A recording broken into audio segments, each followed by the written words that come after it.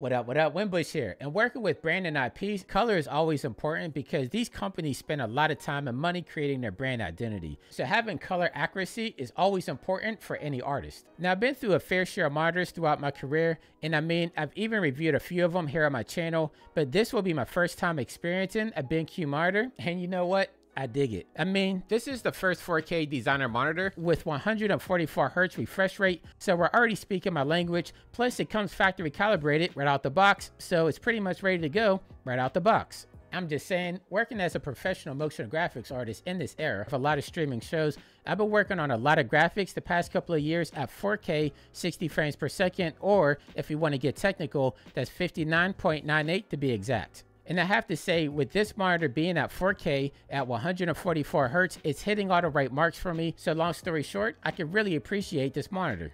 Plus, I gotta give big props out to the designers of BenQ because if you flip the monitor over to its backside and look at the bottom panel here, where you have all your different ports for plugging in your HDMI and display port, I mean, with this BenQ, the way that they designed it in such a way that even with the monitor facing against the wall, it's still easy to hook up the cables back there. I mean, just look at the way that the back panel is. It's nice and flush against the monitor. And I do want to be upfront because BenQ did send me the PD3226G before its release so that I could put it through its paces. But after working with it for almost a month now, I'm pretty comfortable using it as a part of my normal workflow setup. So no cap at all, I am going to use this monitor moving forward. I'm actually going to replace out one of my monitors here because I do have a dual monitor setup. But I can tell you right off the bat that BenQ did craft this monitor with creators in mind.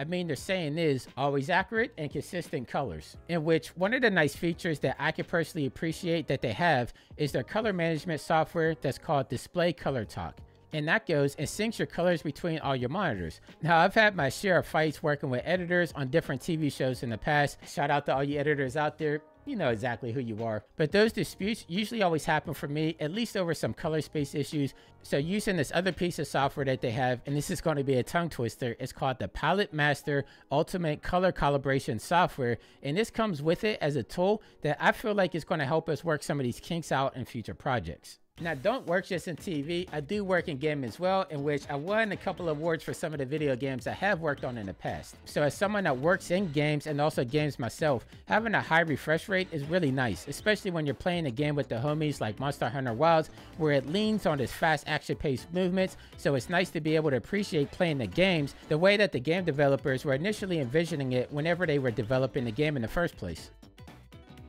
Also, if you've been a long time follower of my channel here, you know that I do all my tutorials in 4K at 60 FPS. I've been doing it ever since the beginning. Not only to look smooth, but to also look good for anybody out there that's viewing my content on their tablets or even more recently TVs because you know TVs now are really big on YouTube. So being able to natively work in screen capture at these settings with this monitor is something that's really important to me.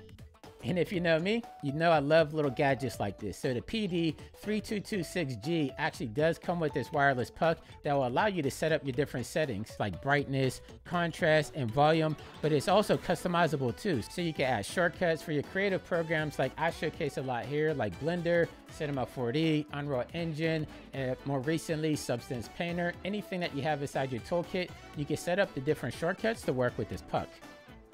If we want to talk tech specs, it has Thunderbolt 4 and Display P3 support.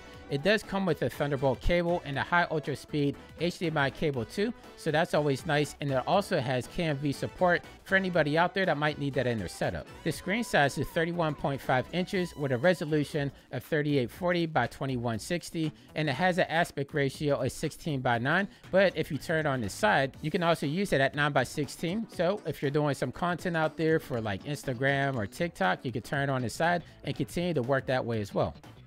And one last thing, you don't want to peel off the mat. Whatever you do off your monitor, you'll actually see a warning sticker in the upper right hand corner. This yellow sticker here, this is warning you that if you actually peel off the mat, this is anti-glare mat on there, and you're going to ruin your monitor if you do put that off. So do take heed to that warning because it's extremely important that you leave your monitor intact, especially because you're spending a lot of money on a nice Premiere monitor. So once again, I want to thank BenQ for sending me this monitor a month ahead time for me to go ahead and put it through its paces. And hopefully, if anybody anybody out there is looking at a new monitor, because I know I've recently had a friend that I actually referred this to, so I know he's on the wait list. But if anybody else out there has any type of questions, leave them down in the comment down below. And once again, my name is Winbush. Subscribe if you're new. And until next time, stay fresh, keep creating, and I'll catch you in the next video.